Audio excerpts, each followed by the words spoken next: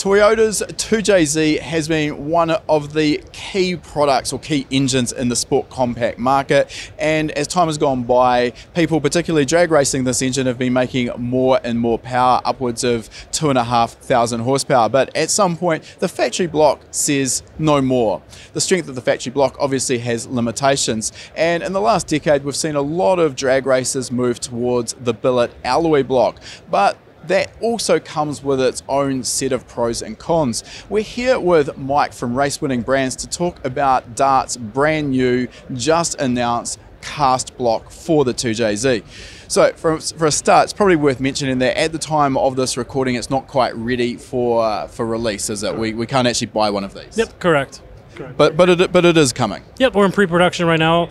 Tooling and uh, castings are going through, and then Q uh, Q3 Q4 of 2023 is when we should be able to start shipping product. Okay, let's start by talking about the weaknesses or problems with the factory cast 2JZ block. What was the impetus behind this particular product? Yeah, so uh, there's many failures on a factory block depending on the power level. Um, anywhere from deck cracking to crankcase cracking, main saddles pulling out. Um, so we kind of took all that and just benchmarked where we seen failures, and then basically worked from our model there and just tried to improve them as we step step by step by step. So one of the big things with the 2JZ at a certain power level, obviously arguable as to what that power level specifically is, but let's say around 900 horsepower, uh, the factory cast caps uh, tend to fail. So of course the aftermarket's come to the rescue there. There's a number of companies making billet caps already. How have you dealt with this with your new cast block? Yeah, so the main area on ours, we went from a traditional, how the OEM block is a two bolt main, and we've actually changed the main structure around to fit a four bolt cap in uh, with a 12 millimeter and a 10 millimeter uh, main stud. And that allows us to just that much more clamping force on that main area and spread that load for the larger power, power adder, larger cylinder pressures.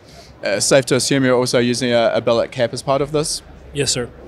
Okay, in terms of other weak points on the 2JZ block, uh, deck surface, deck surface thickness, bore thickness, what where are the other problems? Yep, so we've seen a lot of cracking through the deck, um, and that usually come from over torquing the heads. Well, to combat that, we added deck thickness. Um, factory blocks are around 200 to 300, depending on the casting and the core shift, uh, where ours is set at uh, 750 thousandths.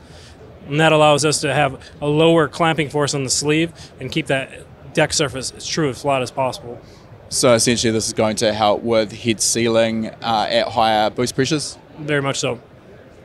All right. In terms of uh, the other changes that you've made, one of the significant ones, which which I noticed, was the underside of the bores uh, have been essentially notched, for want of a better term. Can you explain uh, what that's all about? Why have you done that? Yep. So we uh, will offer a service to, uh, in the finished block to machine rod clearance, uh, and we have that modeled and done for 94 millimeter with aluminum rod. So that allows us to basically give out a prep block to the customer where they don't have to do any additional machining, cost savings, time savings.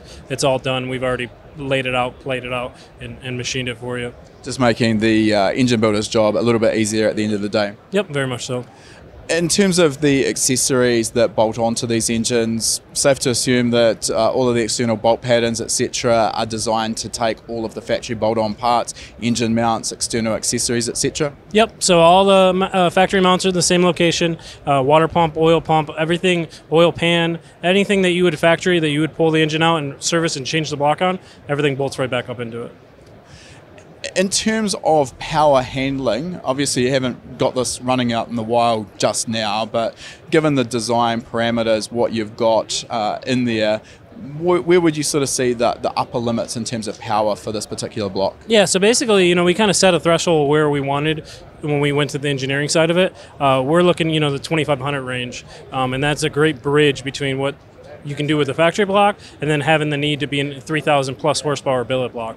So in terms of options as well, for me, this seems like it would be ideal for a street driven car or maybe a, a road race application, uh, particularly because it, it, obviously still incorporates water jackets. And that's not to say uh, billet blocks, billet alloy blocks also have the option to be dry for drag racing or, or wet.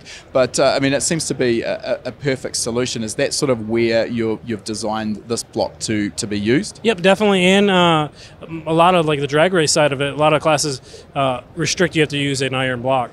Um, so this just fits. You know, right now the only current iron block available is an OEM that you do a bunch of work to you know get it to the point where you can run high horsepower levels. Where this will just be a good bridge and, and replacement for that.